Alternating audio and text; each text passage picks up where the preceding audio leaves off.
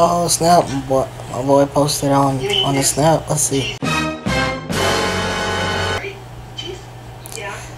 I know not.